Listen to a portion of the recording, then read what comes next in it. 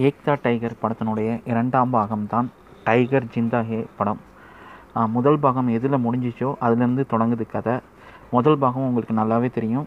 இந்திய சல்மான் கான் வந்து இந்திய உளவாளி கத்ரினா கைஃப் வந்து பாகிஸ்தான் உளவாளி. ரெண்டு பேரும் பார்த்திங்கன்னா உளவு பார்க்க தான் நான் வந்திருப்பாங்க. வந்த இடத்துல பார்த்தீங்கன்னா ரெண்டு பேருக்கும் லவ் வரும். இது ரெண்டு நாடுகளுக்கும் பிடிக்காது. கத்ரீனா கத்ரினா கைஃபை வந்து பாகிஸ்தானும் சல்மான் கானை வந்து இந்திய தூதரகமும் கொல்ல நினைக்கிற டயத்தில் தான் இவங்க தப்பிச்சு போவாங்க. அதுக்கப்புறம் பார்த்தீங்கன்னா அவங்க ஆஸ்திரேலியா போய் செட்டில் ஆகிறாங்க. அதுக்கப்புறம் பார்த்திங்கன்னா இதிலிருந்து தான் இந்த ரெண்டாவது பாகம் தொடங்குது. அவங்க கல்யாணம் பண்ணி குழந்தலாம் இருக்கிற மாதிரி இருக்குது ஆனால் இந்திய தூதரகமும் பாகிஸ்தான் தூதரகமும் இவங்கக்கிட்ட அந்த ஹெல்ப்பு கேட்குறாங்க எதுக்கு ஹெல்ப்பு கேட்குறாங்கன்னு பார்த்தீங்கன்னா ஈராக் தீவிரவாதிகள் வந்து பார்த்திங்கன்னா இந்தியாவுடைய நர்ஸு இருபத்தஞ்சி பேரையும் பாகிஸ்தான் நர்ஸு பதினஞ்சு பேரையும் வந்து கடத்திடுறாங்க. அவங்க காப்பாற்றி கொண்டு வரதுக்காக இவங்க ரெண்டு பேருக்கும் அசைன்மெண்ட் வருது. இவங்க ரெண்டு பேர் எப்படி போயிட்டு ஈராக்கில் போயிட்டு அபு உஸ்மான் என்கிற சஜத் டெப்ரூஸ் கிட்டேருந்து அந்த நர்ஸுங்களை காப்பாற்றுறாங்க இதுதாங்க இந்த ரெண்டாவது பாகத்துடைய கதை. இது ஒரு மாசான கதை. இது ஏற்கனவே மலையாளத்தில் பார்த்தீங்கன்னா டேக் ஆஃப்ங்கிற ஒரு படத்தில் எடுத்திருக்காங்க. இதே கதைக்களை தான் ஆனால் அவங்க வேறு மாதிரி எடுத்திருக்காங்க. இவங்க வந்து பார்த்திங்கன்னா சல்மான் கானுக்காக நிறைய மாஸ் எலிமெண்ட் வச்சு எடுத்திருக்காங்க. ந- மாஸ் எலிமெண்ட் வச்சு நல்லா எடுத்திருக்காங்க. இதில் சல்மான் கான் ஃபைட்டு சூப்பராக போடுறாரு. அவ்வளோ ரிஸ்க் எடுத்து நடிச்சிருக்காரு இந்த படத்தில். கத்திரானா கைஃபும் அவங்க கொடுக்கப்பட்ட கேரக்டர்லாம் சூப்பராக பண்ணியிருக்காங்க ரொமான்ஸ் காட்சி மட்டுமின்றி ஃபைட் சீன்லேயும் அவ்வளோ சூப்பராக ஃபைட் போட்டிருக்காங்க. சல்மான் கான் உண்மையிலே சொல்கிறேன் ரொம்ப ரிஸ்க் எடுத்திருக்காரு இந்த படத்துக்காக. நிறைய தன்னுடைய ரசிகர்களை வந்து திருப்திப்படுத்தணும்னு சொல்லிட்டு ரொம்பவே ரிஸ்க் பண்ணி நிறைய ஃபைட் காட்சிலாம் போட்டிருக்காரு.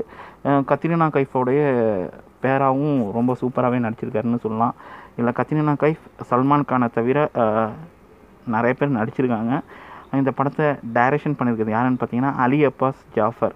இவர் தான் இந்த படத்தை வந்து டைரக்ட் பண்ணியிருக்காரு. உண்மையிலே நல்லாவே டைரக்ட் பண்ணியிருக்காருன்னு சொல்லலாம்.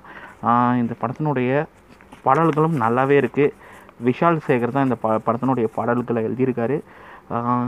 ஜூல் ஜூலிஸின் பின்னணி இசையும் அவ்வளோ சூப்பராக இருக்குது மார்க்கின் ஒளிப்பதிவு வந்து மிரட்டலாக இருக்குது செமையாக இருக்குது அவ்வளோ சூப்பராக இந்த படத்தை வந்து அவ்வளோ சூப்பராக ஒளிப்பதிவு பண்ணியிருக்காங்க.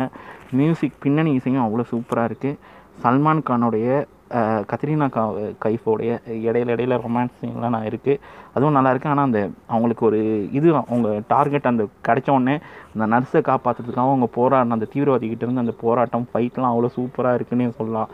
கண்டிப்பாக இது ஹண்ட்ரட் பர்சன்ட் இது சல்மான் கான் ரசிகர்களை குறி வச்சு தான் இந்த கதையை எழுதி நடிச்சிருக்காங்கன்னே சொல்லலாம்.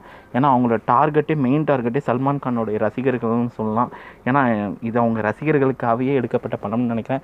ஏன்னா ஃபைட்டு பாட்டு எல்லாமே சூப்பராக இருக்குது ஒரு மாஸ் எலிமெண்ட்டுக்கு ஒரு படத்துக்கு என்ன தேவையோ அது சூப்பராக எடுத்திருக்காங்க. என்ன ஒரே ஒரு விஷயம் இது மற்ற ரசிகர்களை கவருமாங்கிறது டவுட்டு தான். ஆனால் சல்மான் கான் ரசிகர்களுக்கு ஒரு ச சம விருந்தாக இருக்கும்.